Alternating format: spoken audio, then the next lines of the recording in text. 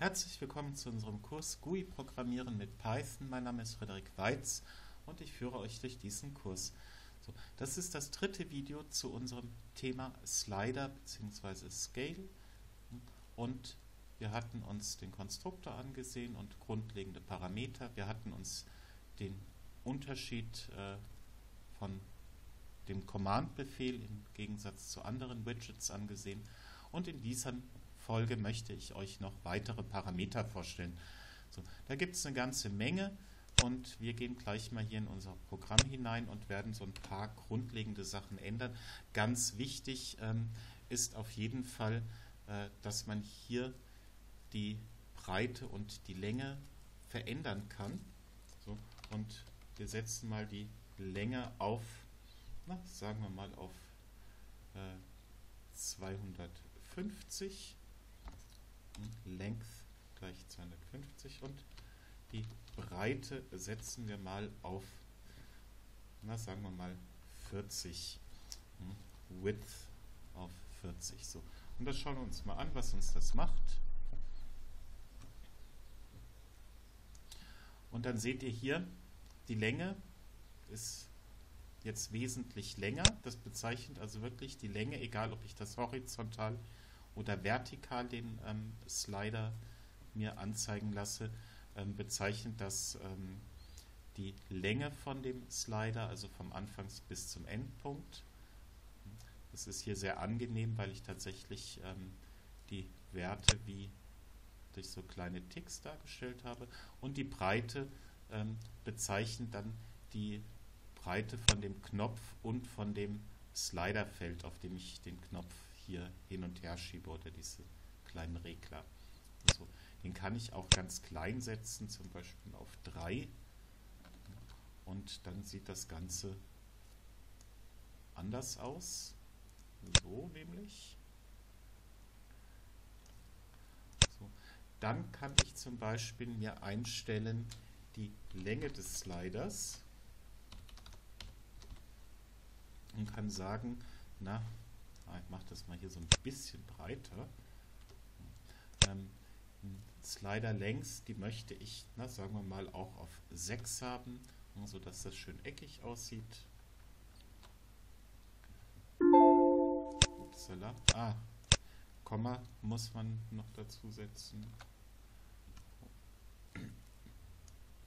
Und dann haben wir hier so einen winzig kleinen Knopf, hm, auch nicht vielleicht das Schönste aber ich kann den jetzt hin und her schieben, dass die Möglichkeit besteht. Ich mache das Ganze größer, sonst seht ihr das dann auch nicht gut auf dem Video. So, dann kann ich zum Beispiel sagen, ähm, wunderbar, aber ich möchte ähm, nicht in Einzerintervallen das Ganze ähm, angezeigt haben, sondern ich möchte tatsächlich das in einem in einem anderen Intervall angezeigt haben. Und dann kann ich zum Beispiel eingeben 0,1. So, und wir schauen uns an, was das jetzt macht. So, jetzt seht ihr als erstes, ähm, hier ist eine 0 dazugekommen bei dem Wert. Und das heißt, ich kann jetzt hier die Abstand verändern, indem diese Ticks laufen. Also wenn ich das nicht angebe, ist das immer 1. Entschuldigung. Und wenn ich es ähm, angebe, dann geht das in dem angegebenen Wert. So. Und das kann ich machen. So. Dafür ist der Befehl Resolution da.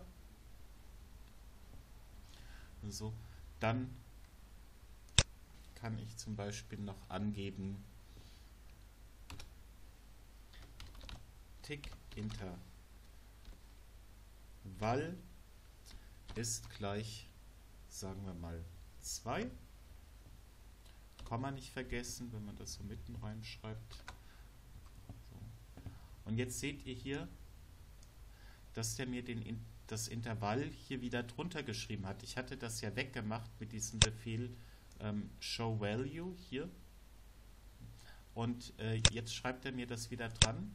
Ähm, das heißt, dass ich diese beiden Optionen, die ich hier übergebe, ähm, äh, dass, dass die sich gegenseitig ähm, oder ja, also ähm, ja nicht auslöschen, sondern also Tick-Intervall steht höher als äh, Show-Value.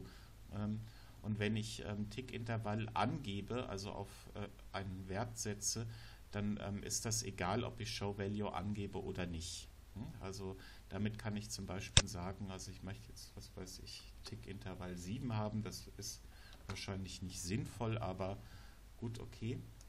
Hm?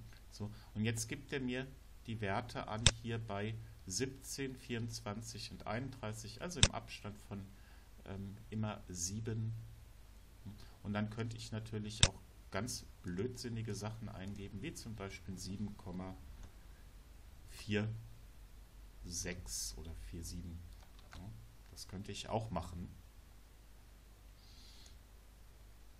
Und dann seht ihr hier, hat er mir das angegeben. Allerdings hat er mir das dann etwas gerundet angegeben.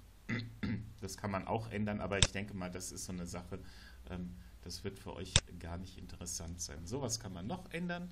Man kann zum Beispiel sagen, ich möchte ähm, das angezeigt haben, nur eine bestimmte Anzahl von ähm, Zeichen in der Zeichenkette und dazu ist der Befehl digits da, digits, Entschuldigung, digits. Und wenn ich jetzt sage, ich möchte ähm, nur zwei Digits angezeigt haben, ich zeige euch das mal. Und dann seht ihr, plötzlich ist die Kommastelle wieder weg. Und er gibt mir nur die Ganzzahl aus. Auch hier ist die Kommastelle weg. Und jetzt sage ich, ich möchte 5 Digits haben. Und jetzt seht ihr, macht er mir drei Nachkommastellen und hier sind jetzt auch die Nachkommastellen drin. Und das verändert sich zwar nicht, die beiden letzten Nullen, weil ich eben diesen Abstand nicht habe, aber wenn ich jetzt hier eingeben würde bei der äh, Resolution 001, dann könnte ich das tatsächlich auch verändern. So, ähm, das sind so verschiedene Möglichkeiten. Es gibt noch eine ganze Menge mehr. Ihr könnt die Farbe verändern, ihr könnt die Schriftart verändern. Das kennt ihr aber auch schon. Schriftart mit Font und Farbe mit ähm, Foreground und Background. Das könnt ihr aber selber ausprobieren. So, hier habt ihr erstmal so grundlegende Sachen, um die, das Anzeigeverhalten des ähm, Sliders zu manipulieren und sich eben den so zurecht zu basteln, wie man den gerade für das aktuelle Programm braucht. Ich hoffe, das Video war lehrreich für euch und dann drückt mir bitte einen Daumen hoch. Wir sehen uns im nächsten Video wieder und dann zeige ich euch etwas ganz Schickes, nämlich wie man Grafik auf den Bildschirm bringt. Bis dahin wünsche ich euch alles Gute.